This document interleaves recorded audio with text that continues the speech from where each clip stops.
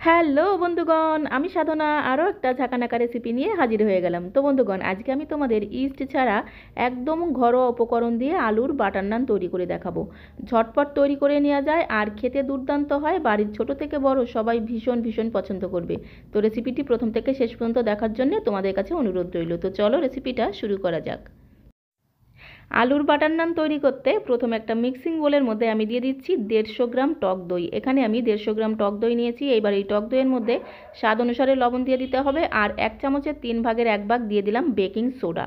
আর দিয়ে দেবো বড় এক চামচ মানে বড় চামচের এক চামচ এখানে আমি সাদা তেল দিয়ে দিচ্ছি। এবার এই সমস্ত কিছুকে খুব সুন্দর করে গোটানাটা গোটানাটা করে মিশিয়ে নিতে হবে। এমনভাবে মেশাতে হবে যাতে টক দইয়ের মধ্যে মানে দইয়ের কোনো দলাভাব না থাকে। তার জন্য নিয়ে নিতে হবে এরকম একটা হ্যান্ড উইস্কার তারপরে আবারও খুব সুন্দর করে একদম ঘটনাটা ঘটনাটা করে খুব সুন্দর করে মিহি একটা পেস্ট করে নিতে হবে যাতে দইয়ের কোনো দলাভাব না থাকে। তো দেখো এইভাবে হ্যান্ড উইস্কার দিয়ে একদম ঝাঁকানাকা ঝাঁকানাকা করে খুব সুন্দর করে একটা মিহি পেস্ট আমি তৈরি করে নেব। এই রেসিপিটা বানানো এতটাই সহজ যে কেউ একবার দেখলে ঝটপট করে বাড়িতে তৈরি করে নিতে পারবে। টক দইয়ের খুব সুন্দর একটা মিহি পেস্ট আমি তৈরি করে নিয়েছি। এইবারে দেড়শো গ্রাম টক দইয়ের মধ্যে আমি দিয়ে দিচ্ছি তিনশো গ্রাম ময়দা। মানে যতটা টক দই নিতে হবে তার ডবল দিয়ে দিতে হবে ময়দা। তাহলে বাটার নানগুলো খেতে দুর্দান্ত টেস্ট হবে। শুকনো অবস্থায় সমস্ত কিছুকে খুব সুন্দর করে একটু ঝাঁকানাকা ঝাঁকানাকা করে মেখে নিতে হবে। মাখতে মাখতে অল্প অল্প করে রুম টেম্পারেচারে রাখা জল দিয়ে খুব সুন্দর একটা নরম ডো তৈরি করে নিতে হবে। আর এই ডোটা যেন খুব বেশি শক্ত না হয়ে যায়, একটু নরম করে ডোটাকে মাখতে হবে, তাহলে বাটার নানগুলো কিন্তু একদম নরম তুলতুলে তৈরি হবে। তো দেখো খুব সুন্দর করে ঝাঁকানাকা করে এরকম একটা নরম সফট ডো আমি তৈরি করে নিয়েছি। আর এই ডোটা যাতে শুকিয়ে না যায় সেই জন্য উপর দিয়ে একটু ঝাঁকানাকা করে তেল ব্রাশ করে দিতে হবে। তাহলে ডোটা শুকিয়ে যাবে না। তারপরে তিরিশ মিনিটের জন্য ঢাকনা বন্ধ করে রেখে দিতে হবে। তো দেখো, তেল মাখিয়ে নিলাম। এইবারে তিরিশ মিনিটের জন্য ধামাচাপা দিয়ে দিলাম। মানে ঢাকনা বন্ধ করে রেখে দিলাম।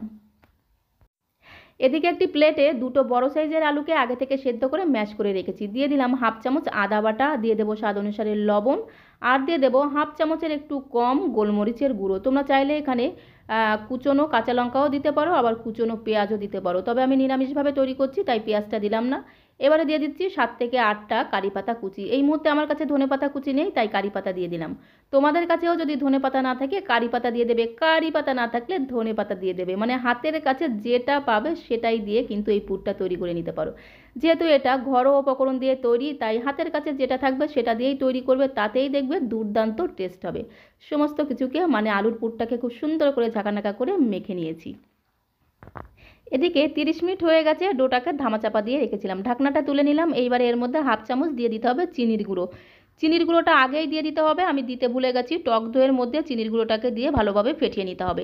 তখন আমি চিনির গুঁড়োটা দিতে ভুলে গেছি বলে এই সময় চিনির গুঁড়ো দিয়ে দিলাম। অবশ্যই কিন্তু চিনিটা দিতে হবে, যেহেতু টক দই দেওয়া আছে। তো চিনির গুঁড়োটা দিয়ে আবারও খুব সুন্দর করে একদম ঝাঁকানাকা করে ডোটাকে মেখে নিলাম। তারপরে ডো থেকে সাইজ মতো আমি লেচি কেটে নেব। তোমরা যে যেমন সাইজের বাটার নান তৈরি করবে, সেই অনুপাতে কিন্তু এখানে লেচিগুলো কেটে নেবে। তো এখানে আমি চারটে লেচি কেটে নিচ্ছি, কারণ আমি চারটে বাটার নান তৈরি করব। লেচি কাটা হয়ে গেলে চলে যেতে হবে বেলুন চাকির কাছে। তো দেখো, চলে আসলাম বেলুন চাকির কাছে। বেলুন চাকিতে সামান্য একটু ময়দা মাখিয়ে নিতে হবে, তারপরে একটা করে লেচি নিতে হবে। লেচিটাকে এইভাবে একটু গোল গোল গোল গোল বলের মতো তৈরি করে নিতে হবে। তারপরে এই লেচিটাকে হাতের মধ্যে নিয়ে একটা বাটির আকারে শেপ করে নিতে হবে। তো দেখো, একদম ঝাঁকানাকা করে এরকম একটা বাটি তৈরি করে নিতে হবে। এতে কি হবে? পুরটা ভরতে সুবিধা হবে। এইবারে যে আলুর পুরটা আমি তৈরি করে রেখেছিলাম, সেই আলুর পুরটাকে বাটির মধ্যে দিয়ে দিতে হবে। তো আলুর পুরটা একটু বেশি করেই দেবে, তাহলে খেতে বেশ ভালো লাগবে। তো বেশি করে একটু আলুর পুর দিয়ে দিলাম। তারপরে ঝাঁকানাকা করে মুখটাকে একটু বন্ধ করে দিতে হবে, যাতে আলুর পুরটা বেরিয়ে না আসে।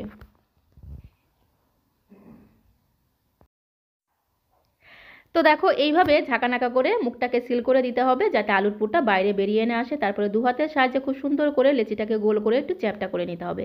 ঠিক একই রকমভাবে আরও একটা লেচির মধ্যে তোমাদের আলুর পুর ভরে দেখিয়ে দিচ্ছি। এইভাবে প্রথমে গোল গোল বলের মতো তৈরি করে নিতে হবে, তারপরে একটা বাটির মতো শেপ তৈরি করে নিতে হবে।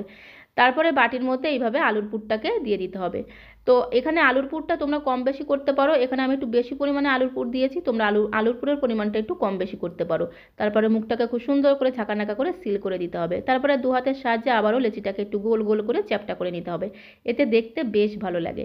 তো এইভাবে সমস্ত লেচির মধ্যে আমি আলুর পুর ভরে নিয়েছি। তো দেখো, চারটে আলুর পুর আমি তৈরি করে নিয়েছি আর একদম গোল গোল করে তৈরি করতে হবে। এতে বাটার নানগুলো গোল গোল তৈরি হবে। তারপরে আবারও চলে আসলাম বেলুন চাকির কাছে। এইবারে এই পুর ভরা লেচিগুলোকে একটু বেলে নিতে হবে। তার জন্য বেলুন চাকিতে সামান্য একটু ময়দা ছড়িয়ে কোট করে নিতে হবে। তারপরে হাত দিয়ে হালকা করে একটু প্রেস করে করে চ্যাপটা করে নিতে হবে।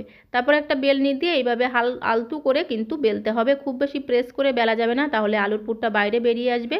তাতে দেখতেও ভালো লাগবে না, খেতেও ভালো লাগবে না। তো দেখো এইভাবে হালকা প্রেস করে খুব সুন্দর একটা নান আমি তৈরি করে নিয়েছি। একদম গোল গোল তৈরি হয়েছে আর একটু মোটা করে তৈরি করে নিয়েছি। তো প্রত্যেকটা নান আমি এইভাবে একটু গোল গোল মোটা করে তৈরি করে নেব। তারপরে চলে যাব ওভেনের কাছে। গ্যাসের ফ্লেম জ্বালিয়ে দিয়ে এরকম একটা ননস্টিক প্যান আমি বসিয়ে দিয়েছি, আর গ্যাসের ফ্লেম একদম লোতে রেখেছি। প্যানের মধ্যে দিয়ে দিলাম নান, তারপরে নানটাকে দিয়ে প্রথমে একটা পিঠ এইভাবে ভেজে নিতে হবে। একটা পিঠ ভাজা হয়ে গেলে উল্টে দিতে হবে, তারপরে যে পিঠটা ভাজা হয়ে গেছে সেই পিঠের উপরে দিয়ে দিতে হবে এক চামচ করে বাটার। তো দেখো এক চামচ বাটার দিয়ে দিলাম, এবার বাটারটাকে মেল্ট হওয়ার জন্য অপেক্ষা করতে হবে। যেহেতু এটা বাটার নান তাই অবশ্যই চেষ্টা করবে একটু বেশি করে বাটারে ভাজতে, তাহলে খেতে আরও বেশি ভালো লাগবে। এখানে আমি এক চামচ করে বাটারে ভাজছি, তোমরা চাইলে এখানে দুই চামচ করে বাটারে ভাজতে পারো, তাহলে খেতে কিন্তু আরও টেস্টি হবে। তো দেখো, বাটারটা যখন মেল্ট হয়ে যাবে, তখন বাটারের মধ্যে কিন্তু এপি ওপিট উল্টে পাল্টে নানটাকে খুব ভালোভাবে ভেজে নিতে হবে। বাটারের পরিমাণটা বেশি হলে খেতে কিন্তু বেশ ভালো লাগবে। তো এখানে আমি এক চামচ বাটার দিয়ে ভাজছি, তোমরা চাইলে কিন্তু দুই চামচ বাটার দিয়েও ভাজতে পারো, এতে বাটারটা আরও বেশি টেস্টি হবে। তারপরে এপিট পিট উল্টে পাল্টে, দেখো আমি একটু লাল লাল করে ভেজে নিয়েছি। তো একটা নান আমার ভাজা হয়ে গেল। বাকি নানগুলোকেও ঠিক একই রকমভাবে আমি ভেজে নেব। তার আগে আরও একটা নান আমি তোমাদের ভেজে দেখিয়ে দিচ্ছি। ঠিক একই রকমভাবে গ্যাসের ফ্লেম একদম লোতে রেখে একটা করে নান ননস্টিক প্যানে দিয়ে দিতে হবে। তারপরে একটা পিঠ যখন ভাজা হয়ে যাবে, বাকি পিঠটা উল্টে দিতে হবে। এইবারে যে পিঠটা ভাজা হয়ে গেছে, সেই পিঠের উপরে এইভাবে এক চামচ অথবা দুই চামচ করে বাটার দিয়ে দিতে হবে। যেহেতু এটা বাটার নান, তাই বাটারের পরিমাণটা একটু বেশি হলে কিন্তু নানটা খেতে আরও দুর্দান্ত টেস্ট হয়। তো বাটারটা মেল্ট হয়ে গেলে তারপরে এপি টপিট উল্টে পাল্টে নানটাকে ভেজে নিতে হবে। তাহলেই তৈরি হয়ে যাবে বাটার নান। ভাজতে ভাজতেই দেখবে নানটা কত সুন্দর একদম ফুলে ফুলে ফুলকো হয়ে যাবে। এতে খেতে বেশ দুর্দান্ত লাগে। তো দেখো এপি টপিট উল্টে পাল্টে ভেজে নিলেই তৈরি হয়ে যাবে বাটার নান। তো দেখো একটু লাল লাল করে ভেজে তুলে নিয়েছি, এবার একটি প্লেটে আমি সাজিয়ে নেব। তো বন্ধুগণ, তৈরি হয়ে গেল নরম তুলতুলে বাটার নান। সমস্ত বাটার নানগুলো প্লেটে আমি সাজিয়ে নেব। আজকের এই রেসিপিটি ভালো লাগলে একবার হলেও তোমরাও বাড়িতে ট্রাই করে দেখতে পারো। আশা করি তোমাদেরও ভীষণ ভীষণ পছন্দ হবে। এতটাই টেস্টি হয়, বাড়ির ছোট থেকে বড় সবাই ভীষণ ভীষণ পছন্দ করবে। বাটার নানগুলো কতটা সফট হয়েছে সেটা দেখানোর আগে তোমাদের বলে দেব। রেসিপিটি ভালো লাগলে প্লিজ আমার চ্যানেলটিকে একটি লাইক আর শেয়ার করে দিও, কারণ তোমাদের একটা লাইক কিন্তু অনেকটা মোটিভেট করে নতুন নতুন ভিডিও বানানোর জন্য। তো দেখো, একটি নান তোমাদের একটু ছিঁড়ে দেখিয়ে দিলাম। ভেতরে যেহেতু আলুর পুরে ঠাসা, তাই এর সঙ্গে কোনো কিছু না হলেই চলবে। শুধু একটু টমেটো সস দিয়েও কিন্তু তোমরা এটা খেতে পারো। খেতে কিন্তু দুর্দান্ত লাগে। তো আজকের মতো এই পর্যন্ত। সবাই ভালো থেকো, সুস্থ থেকো। আবারও দেখা হবে নতুন কোনো ভিডিওর সাথে। সবাইকে অসংখ্য অসংখ্য ধন্যবাদ।